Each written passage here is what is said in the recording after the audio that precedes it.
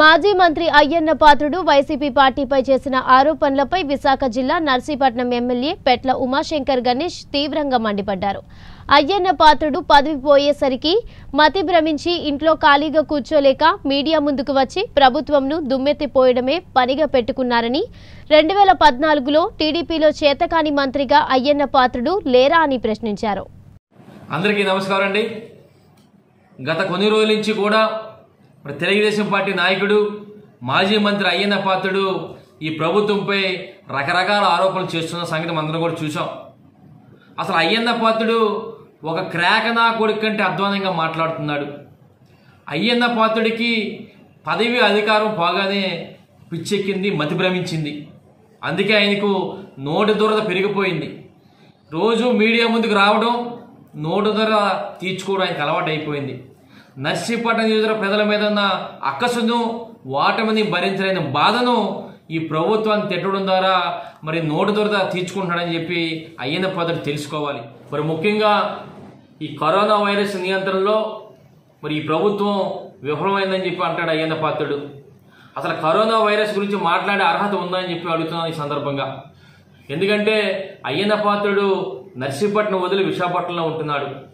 ఈ రాష్ట్ర ప్రతిపక్ష నాయకుడు చంద్రబాబు నాయుడు ఆంధ్రప్రదేశ్ రాష్ట్రాన్ని వదిలి తెలంగాణ రాష్ట్రంలో ఉంటూ మరి సొల్లు కబుర్లు చెబుతూ ఈ కరోనా వైరస్ నియంత్రణలో మేము కూడా ఉన్నామని ఈ రాష్ట్ర ప్రజలకు నమ్మించాలనే ఉద్దేశంతో అయ్యన్న పాత్రలు వగైరాలు తప్పుడు ప్రచారం చేస్తున్నారు సంగతి గుర్తుంచుకోవాలని చెప్పి ఈ సందర్భంగా తెలియపరుస్తున్నాను. మరి ఎంత దారుణం అంటే తెలుగుదేశం పార్టీ సర్వసభ్య సమావేశాన్ని కూడా ఆన్లైన్ ద్వారా నిర్వహించిన దౌర్భాగ్య పరిస్థితుల్లో ఈ తెలుగుదేశం పార్టీ ఉన్నారన్న సంగతి అయ్యన్న పాత్రుడు గుర్తించుకోవాలని చెప్పి ఈ సందర్భంగా తెలియపరుస్తున్నాను.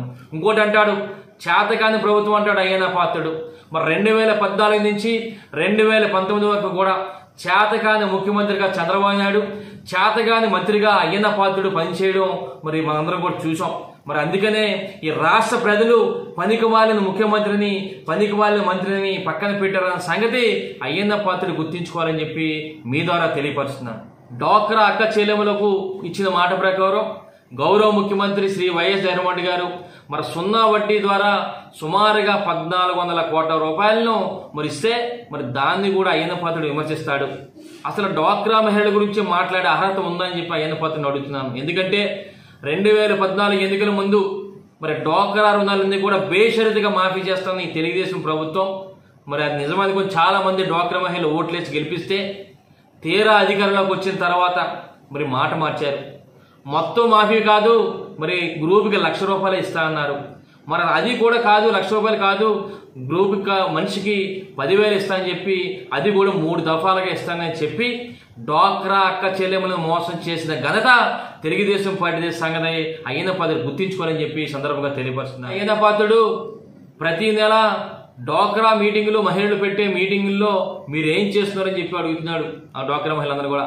ఏమంటాడంటే మీరేమైనా ఏమైనా అష్టాచమ్మలు ఆడుతారని చెప్పి హేళనగా మరి అయ్యన్న పాత్రుడు డ్వాక్రా మహిళలు ఉద్దేశించి మాట్లాడడం ఈ మధ్య చూసాం. మరొక్కసారి డ్వాక్రా మహిళలు బుద్ధి చెబుతారన్న సంగతి అయ్యన్న పాత్రుడు చెప్పుకోవాలి.